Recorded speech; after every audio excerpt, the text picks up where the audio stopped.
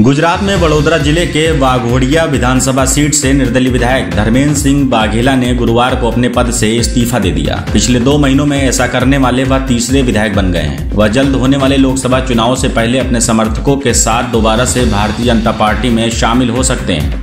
वाघेला ने कहा कि उनके फैसले का मकसद देश में राम राज्य कायम करने के प्रयासों में प्रधानमंत्री नरेंद्र मोदी और केंद्रीय गृह मंत्री अमित शाह का समर्थन करना है।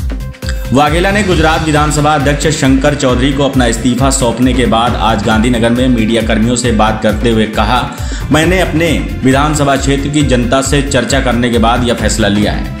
मैंने इस्तीफा दे दिया है क्योंकि मैं देश में राम राज्य स्थापित करने के कोशिश में प्रधानमंत्री मोदी और अमित शाह के हाथों को मज़बूत और सशक्त करना चाहता हूँ। उन्होंने जल्द ही एक बार फिर से भाजपा में जाने की अपनी योजना के बारे में संकेत दिए। बाघेला ने अभी साफ़ करते हुए कहा कि सत्तारूढ़ दल की ओर से उन्हें किसी खास और बड़े पद का वादा नहीं किया गया। वाघेला से पहले पिछले साल दिसंबर महीने में विशावदर सीट से आप विधायक भूपेंद्र भयानी और विजापुर सीट से कांग्रेस विधायक सीजे चावड़ा ने भी इस्तीफा दे दिया था। अप्रैल में लोकसभा होने की पूरी संभावना है। पूर्व में भाजपा से जुड़े रहे वाघेला ने 2022 के गुजरात विधानसभा चुनाव में टिकट नहीं मिलने के बाद बगावत का बिगुल बजाते हुए निर्दलीय उम्मीदवार के रूप में चुनाव लड़ा था। उन्होंने भाजपा के अश्विन पटेल को 14,000 से अधिक वोटों से हराकर एक बड़ी जीत हासिल की थी।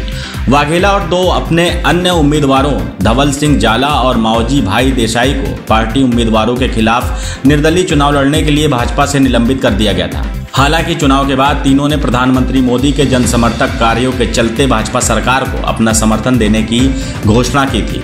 गौरतलब है कि 2022 के गुजरात विधानसभा चुनाव में भाजपा ने 122 में से 156 सीटें हासिल कर बड़ी जीत दर्ज की थी।